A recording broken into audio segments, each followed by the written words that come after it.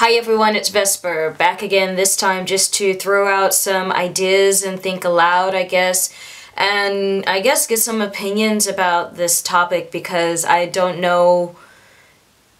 I imagine it's not just me, but I don't see a lot of people talking about it, so yeah, just gonna throw this out there. It occurred to me relatively recently, I guess because I'm slow about these things, I guess, that a lot of, if not the majority of my attraction that I felt in the past actually wasn't attraction at all, but rather was gender envy or gender admiration, I guess. Before I go any further, I want to clarify that I'm using gender envy, or I guess even gender admiration in this video, because I don't have any better words or ways to talk about this, so I'm just pulling those terms out of my ass.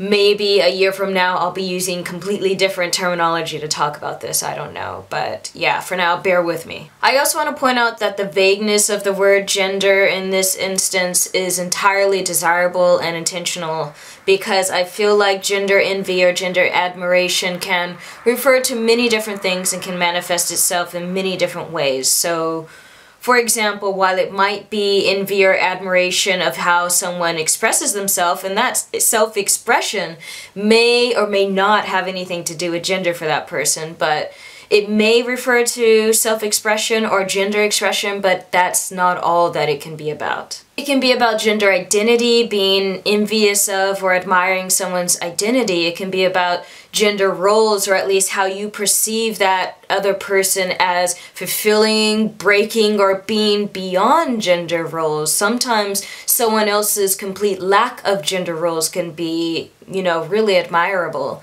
Or sometimes it's about gender norms and, you know, maybe you are held to certain norms by society, but you see someone else as being free of those norms and you're envious of that or just admire that or vice versa.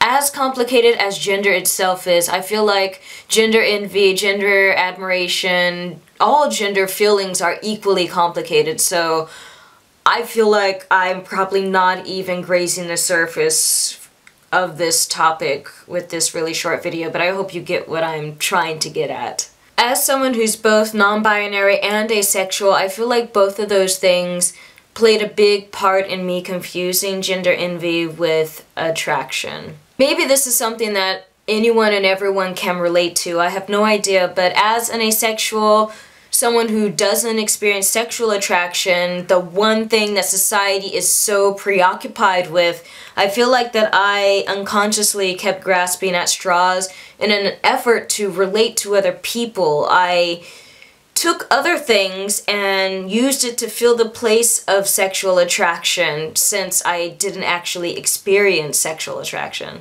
but not specifically sexual attraction because once I was out to myself as asexual and had a better understanding of what sexual attraction apparently is, yeah, it was it's pretty obvious that sexual attraction is not what I had gender envy confused with. It was another type of attraction. For those of you who aren't familiar with the concept of different types of attraction, in the asexual community, attraction is often broken up into different types. For example, sexual attraction, romantic attraction, aesthetic attraction, sensual attraction, etc.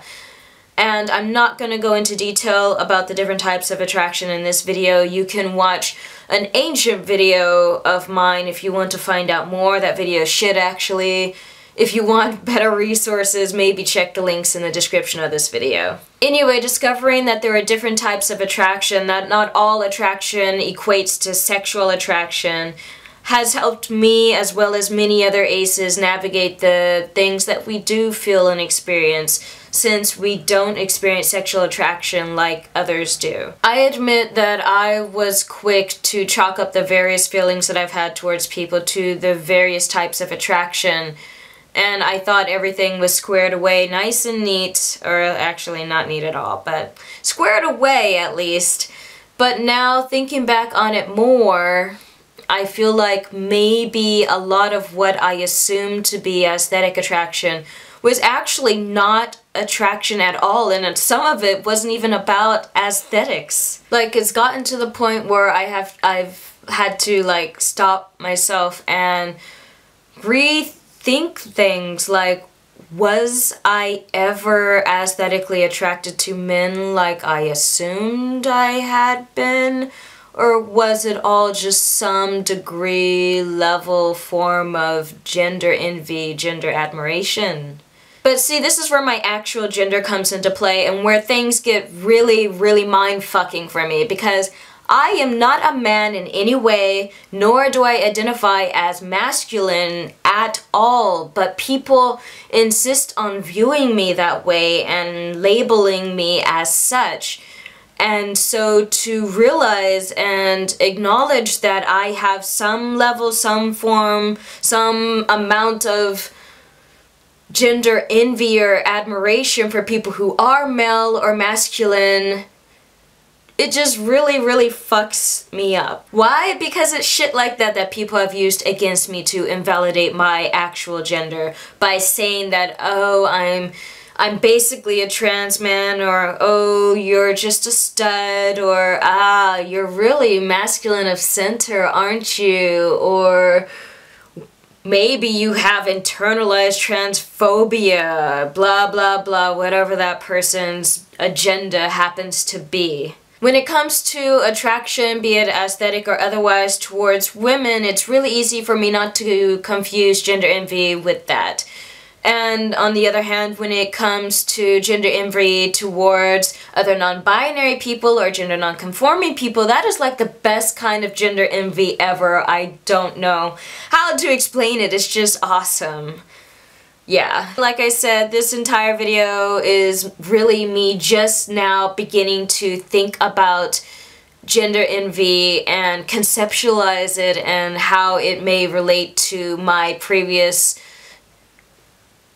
thought of attraction towards people. And yeah this video might not make any sense.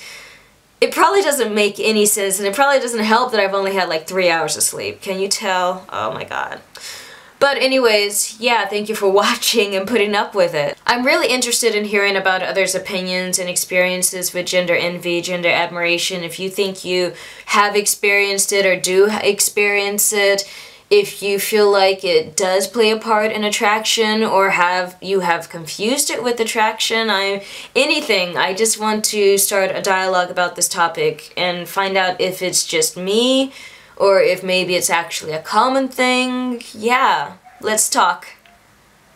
The dog wants to talk too. But yeah, as always, thank you for watching and I'll see you next time. Bye.